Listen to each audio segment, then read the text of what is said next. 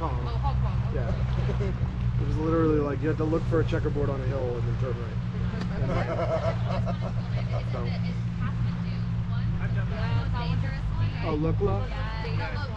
Yeah, look, It's look. like 9,000 feet up. Yes, I've always wanted to go. I've done that one. Was it cool? It's like, and the airport itself is like landing at a public school.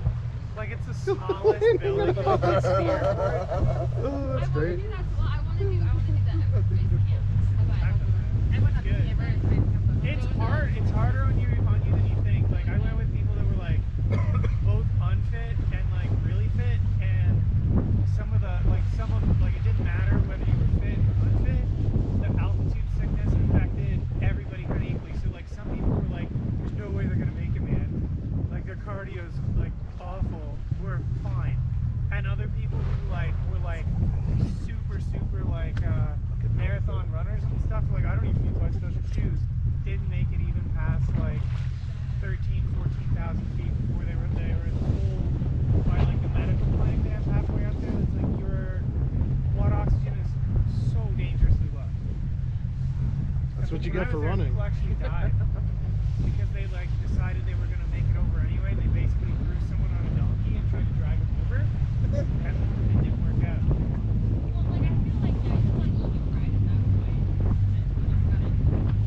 Yeah, and then the Diamox, whatever you take for altitude sickness, gives you like horrible nightmares. I love Diamox. Yeah? That stuff works great. Do you like your nightmare? I've never had any problems with it, but, but it really does help.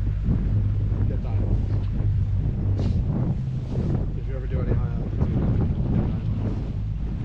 get It does make you um, I just some for it. make you go a lot more because it passes carbon dioxide through your kidneys.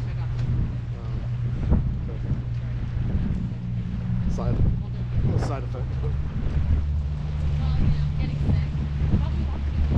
Yeah, I've never I've never done that except for diving. Yeah, and some of the like some of the like guest houses they had up there, like just had like open the trees and everything, so it was all part of the experience. Yeah.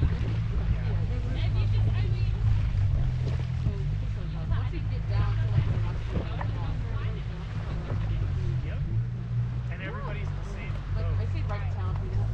No, it was really fun. I actually went and then went again with my like immediate family.